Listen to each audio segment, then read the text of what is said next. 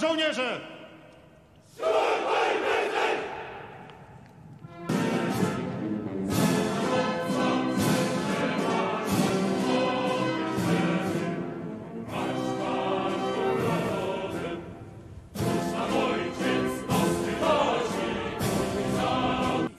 Inflanski, Smoleński, konfederowanymi w liczbie podwójnej naród polski reprezentującymi.